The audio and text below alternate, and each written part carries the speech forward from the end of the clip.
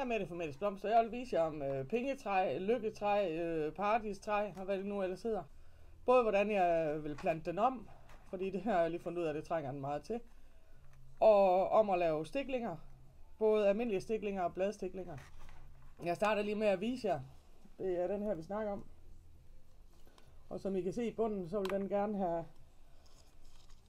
Og I kan også se her, at den trænger virkelig til at få noget nyt jord.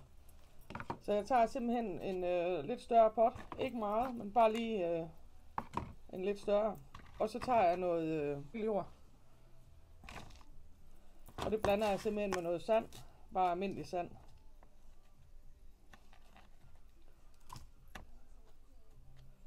Og så sætter jeg den her ned i. Og så får den lige noget mere jord.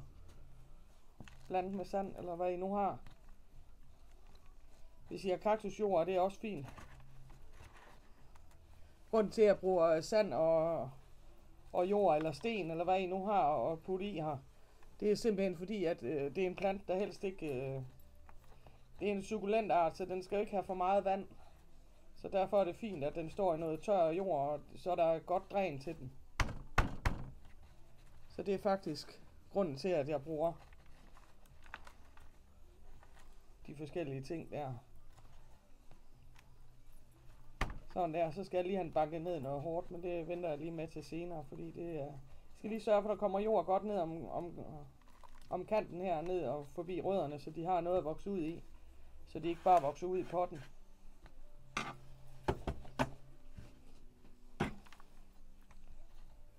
Sådan der. Sådan. Og så i mellemtiden vil jeg lige fortælle jer lidt mere om, om selve pengetræet. Om lykketræet, paradistræet eller pengetræet, eller hvad I nu... Jamen, jeg ved ikke, hvad I kalder dem. Det er jo også ligegyldigt. Øh, de stammer fra Australien. Øh, Afrika, siger man. Og øh, de kan blive sådan omkring øh, to en halv til øh, 2,70 cm høje, så det er faktisk rimelig store pengetræ. Øh, de får blomster, og det kommer med sådan nogle hvide, øh, lyserøde nogle, og det gør de øh, omkring i foråret. Øh, sidst på vinteren øh, i foråret, sådan noget i den stil, og nogle gange på andre tidspunkter, men det er mest normalt for dem på det tidspunkt der.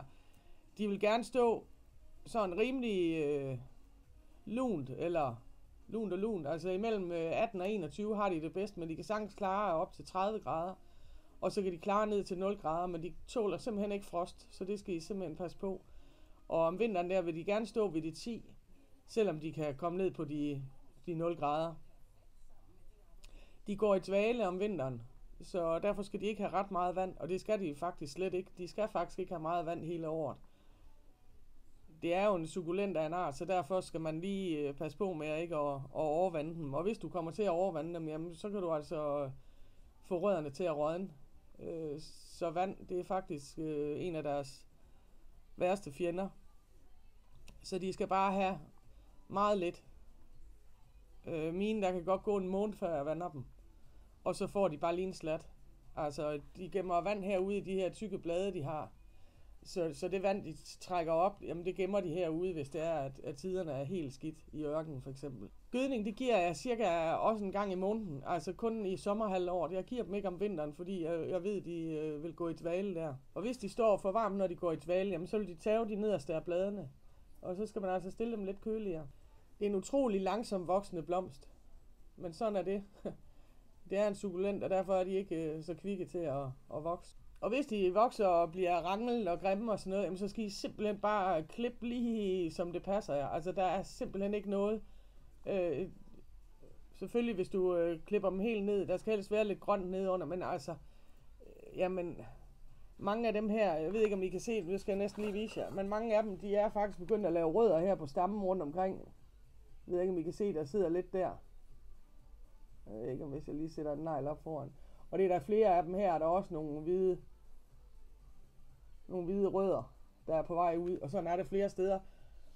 Hele den gren hernede, så der kunne man jo sagtens tage, og så bare putte i jorden, fordi den er jo allerede i gang. Og det synes jeg faktisk lige, vi gør, fordi den er også lidt... Så vi tager simpelthen lige og, og klipper den lige her. Og så kan I simpelthen se rødderne. De er altså allerede i gang. Så den kan man jo sådan set lige øh, ligge ned i jorden også. Men den skal også lige ligge og tørre den time der. Øh, de trives bedst i øh, fuld sol til øh, delvis skygge, så de vil altså gerne stå lyst. En ting, man skal øh, passe på med, det er uldlus. Dem tager man bare lige øh, med sprit. Lige på sådan en vatpind putter man lige sprit på, så duber man på uldlusen, så dør den. Men der skal man holde øje med inde i hjørner og sådan noget. Altså mange smider dem ud, fordi at, at de får uldlus, men altså prøv lige at se, om I ikke kan fjerne dem. Og så stil dem lige, øh, så de ikke står op og ned af alle mulige andre, men selvfølgelig kan de fjernes. Det skal bare gøres over nogle gange. Så en pengetræ, det kan blive utrolig gammel. Og, og hvis øh, man skulle miste den, jamen så har man jo taget stiklinger af den måske, så, så man har mulighed for det. Men altså, de kan formeres for frø, stiklinger og bladstiklinger. Og hvis du laver stiklinger, så er der også nogen, der putter dem i vand og stiller dem der, og det er også fint. Jeg foretrækker lige med dem her i jord, men havde jeg ikke haft tid til det, jamen så havde jeg også stillet dem i vand, fordi jeg har ikke lige tid til, øh, hvis jeg får dem af en veninde, så har jeg ikke lige tid til lige med det samme smide dem i jord. Jamen, så stille dem i et glas vand, og så lade dem stå der og lave rødder. Det kan de altså også.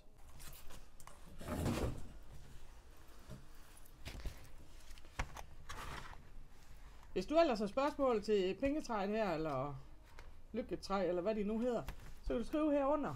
Øh, eller kan du gå ind på min hjemmeside, mademaut.dk, og der kan du også øh, stille mig spørgsmål, eller skrive til mig, eller ja, hvad du nu har behov for. Og så, øh, jeg synes, du skal prøve det. Det er, det er sjovt. Og en anden ting med det her med, at den vælter, jamen øh, hvis det er, at den vælter for meget, jamen så simpelthen mere jord i. Og tryk det godt ned igen. Og bliv ved med at trykke ned og mere jord. Og til sidst skal den nok komme til at rette sig. Eller om at I simpelthen øh, tage nogle flere stik længere. Og sætte i. Men jeg laver lige en video mere her lige efter. Med at tage stiklinger. Så I kan gå ind og, og se den også. Men det var sådan set det. Kan I have det godt? Hej hej.